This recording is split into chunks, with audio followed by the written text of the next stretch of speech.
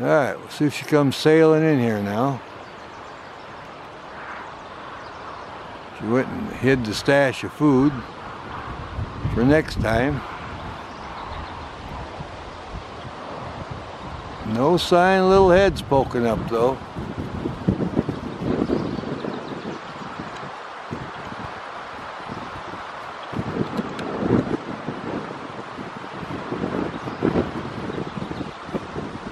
That wind's just a howling now.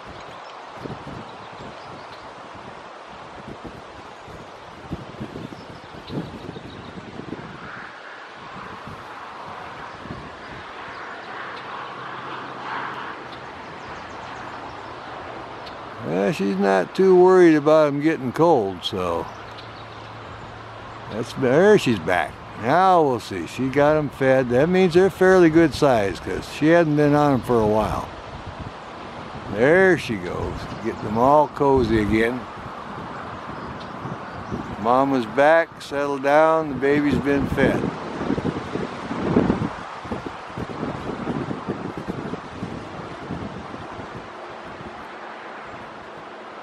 Yep, she says.